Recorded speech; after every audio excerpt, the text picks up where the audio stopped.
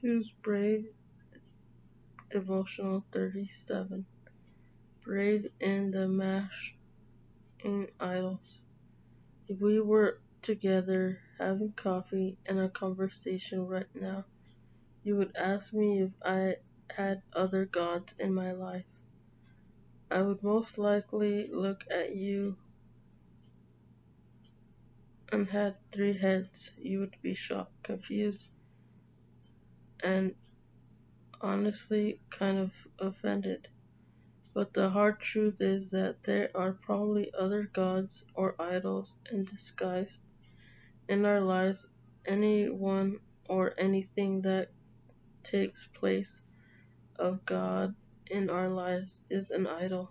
If it has a if it was my heart more than God does, it's an idol in my life. Idols might be material items, a belief, a habit, a job, or career goal, or a person. Anything that I go to before God to to God when I am in need of comfort, love, security, rest, joy, protection, or value is an idol in my life. With realization, I am convinced to see the other gods in my life. It's eye opening. Sister is a good, hard truth because God is greater than any false God or idol, better than any other God, more than anything else could ever be in our lives. There is no God like our God. He is fulfills our every need and loves us in ways we can't even comprehend. And God calls us to love Him first, foremost, to worship Him alone. In order to do that, we must be brave to smash idols. Lord, thank you for calling me yours. Thank you for being my God. Convict my heart and show me the idols in my life. Father, help me to see the other gods that I worship and give me the courage to smash them. Only you are worthy of all honor and praise. In Jesus' name, amen. Exodus 20, verse 1 through 3. Then God spoke all these words I am the Lord your God, who brought you out of the land of Egypt, out of the place of slavery. Do not have other gods besides me.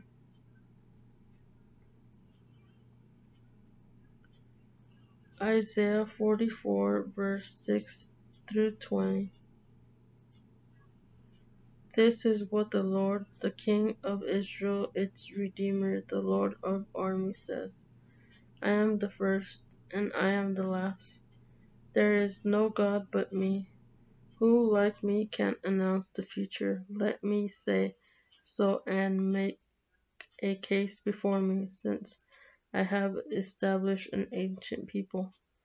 Let these gods declare the coming things and what will take place. Do not let be startled or afraid. Have I not told you and declared it long ago? You are my witnesses. Is there any God but me? There is no other rock. I do not know any. All who make idols are nothing, and what they treasure benefit no one. Their witnesses do not see or know anything, so they will be put to shame. Who makes a god or cast or a metal imagine that benefits no one? Look, all its worshippers, you'll be put to shame, and the craftsmen are humans. They will all assemble and stand. They will be startled and be put to shame. The iron worker labors over the coal, shapes the idol with hammers, and the works it with strong arm. Also he grows hungry, and his strength fails. He doesn't drink water, and it will faint. The woodworker stretches out a measuring line. He outlines its stylus. He, me- he shapes its shingles, outlines its compass. He makes it according to human form, like a beautiful person to dwell in a temple. He cuts down cedars for its use, or he t- takes it compressed or an oak, or oak. He lets it grow strong among the trees of the forest. He plants a larder, and the rain makes it grow. A person can use it for fuel. He makes some of it and warms themselves. Also, he kindles a fire, bakes bread, and eats the roast, and is satisfied. He warms himself and says, Oh, I am warm. I see the blaze. He makes a god or his idol with the rest of it. He bows down to it and worships. He prays to it. Save me from you are my God. Such people do not comprehend or cannot understand, or he has shut their eyes so they cannot see, their minds so that they cannot understand. No one comes to his senses, no one has the perception or insight to say, I have burned half of it in the fire. I also bake bread on its coals.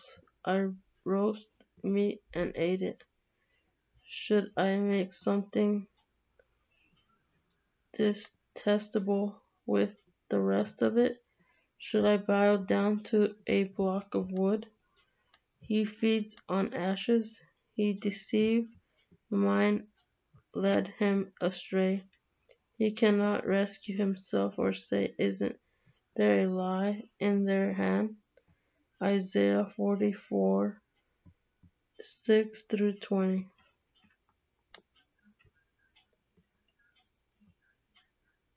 I hope this is a blessing to you as it is for me. See you on the next one. Bye.